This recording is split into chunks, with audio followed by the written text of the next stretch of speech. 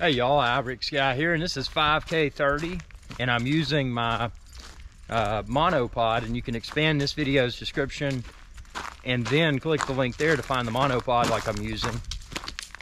It's extended the, the piece of the monopod closest to the camera is extended all the way out, but I've still got an entire other section if I wanted to, uh, if I wanted to extend it more.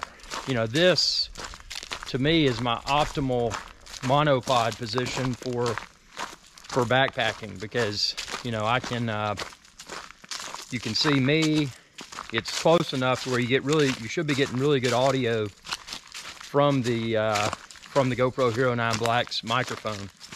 So you probably hear the leaves crunching and just a really cool really cool setup. And I tell you since the GoPro Hero 9 Black has the uh, the forward facing screen, it really makes it really cool because you can visually confirm if you're properly aligned. I've got it set and you can toggle it. You could leave it on if you wanted to, but that's gonna eat batteries more quickly. I've got it set to where it'll stay on, I think for 30 seconds and then it turns off. So that gives me long enough to visually confirm that I'm lined up. But uh, yeah, this is what I feel is my optimal monopod uh, placement for hiking.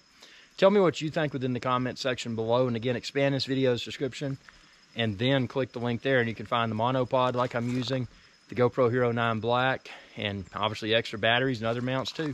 Thanks for your viewership and y'all have a good day and be sure to subscribe and ring that bell icon when you do to be notified whenever I post another video. And this was filmed in 5K 30 wide.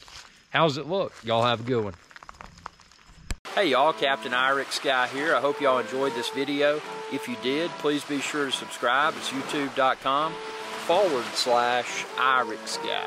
And ring that bell icon when you do to be notified whenever I post another video. Thanks for your viewership and y'all have a good day.